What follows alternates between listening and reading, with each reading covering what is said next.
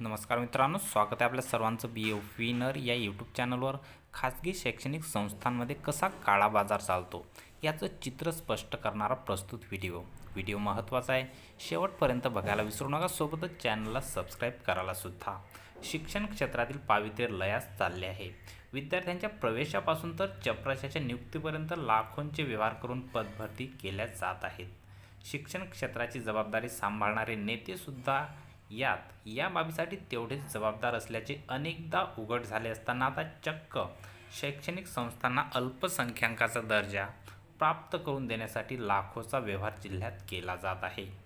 चांदूर बाजारातील निवासी व एका शाळेचा शिक्षक हा मुख्य दलाल म्हणून चर्चेत आलेला आहे. शैक्षणिक संस्था गेल्या अनेक वर्षापासून सामान्य संस्था म्हणून कार्यरत आहेत अशा संस्थांना अल्पसंख्याक संस्थांमध्ये परावर्तित करून देण्याचा गोरखधंदा सध्या जिल्ह्यामध्ये सुरू आहे. जिल्ह्यातील विविध संस्थांमध्ये कुठल्याही पदाची भरती करत असताना शासनाच्या अटी व शर्तीचे पालन करत पद भरती करावी लागते. मात्र राज्य शासनाची बंद असलेली नोकर भरतीमुळे संस्थांमधील पद भरती करणे अशक्य असल्याने आर्थिक व्यवहार करत पद भरती करणे जमत नसल्याने यावर शक्कल लढवीत गेल्या अनेक वर्षापासून असलेल्या शैक्षणिक संस्थांना अल्पसंख्याकाचा दर्जा आणून नोकर भरती करणे सोयीस्कर होते. अल्पसंख्याकाचा दर्जा आला की त्या संस्थेला पदभरती अधिकार प्राप्त होतो. असा दर्जा देण्यासाठी चांदूर बाजार शहरातील एक व्यक्ती सक्रिय असून शिक्षणाधिकारी कार्यालयापासून तर थेट मंत्रालयापर्यंत.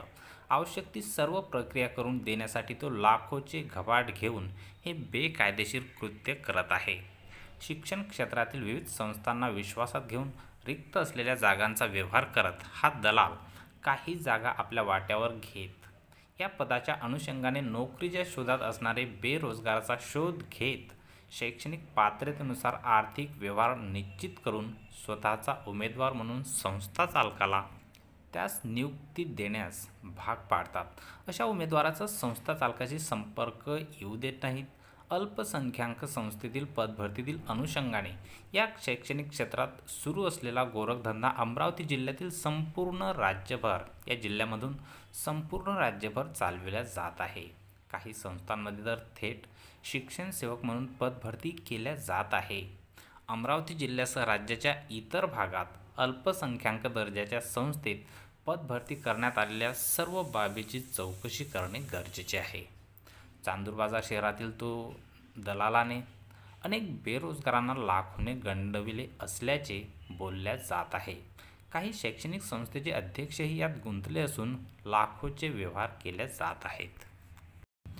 अल्पसंख्याक शाळेवरील शिक्षकांची भरती ही पवित्र पोर्टलच्या माध्यमातून केली जात नाही. तर ही भरती करण्यासाठी अल्पसंख्याक संस्थांना स्वातंत्र्य देण्यात आलेले आहे. आणि त्यामुळेच येथील शिक्षकांची भरती करताना लाखोचा व्यवहार केला जातो.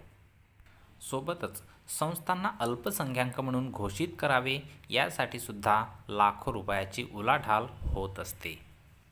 आपल्याला या संदर्भात काय वाटते कॉमेंट बॉक्समध्ये लिहायला विसरू नका.